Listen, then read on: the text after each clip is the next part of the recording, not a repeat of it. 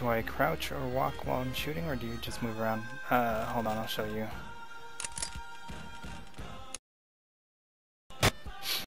This is pretty much what I do. So, uh, without dragging my mouse down to compensate for recoil, it's kind of like that.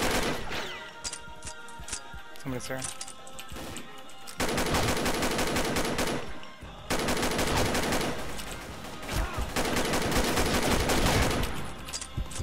Uh, okay, so without dragging my mouse down, the recoil just takes it upwards like this. Pretty much the recoil pattern goes up like this, and then it kind of goes like that. If you watch it, it's like a, it's like it goes up, to the left, to the right, and to the left. So pretty much you just want to drag your mouse down in like a, in like a zigzag motion as you're shooting. It keeps the spread in this area. So like if if basically your recoil is going going up, left, and then up, you want to just drag your damn mouse down and compensate for it. Uh, but when I'm shooting, I'm basically uh, shift walking, and then I'm just doing bursts, and then dragging my mouse down. Keeps keeps all the shots in a straight line, and it keeps the spread really tight.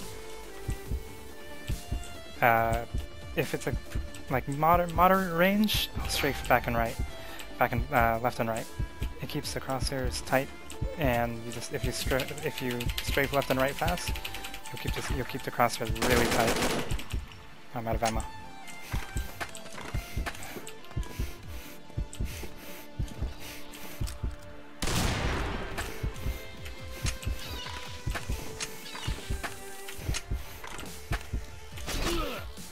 I couldn't even see that guy.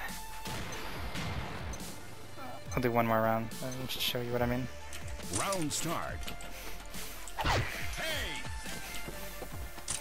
So this is uh, without me dragging my mouse down.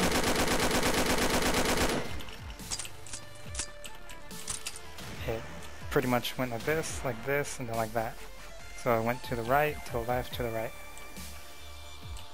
Uh, pretty much you just want to drag your mouse down, do short bursts, and compensate for the the left and to the right.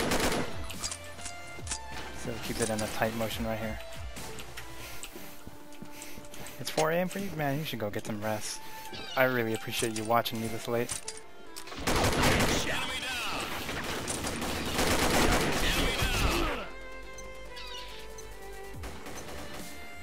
Uh, but alright, I'm gonna go jump on Minecraft for a game and do one game before I call it a night as well. Uh, if you, if you want to stick around, that's fine, but if not, you guys have a good night. Thank you for watching.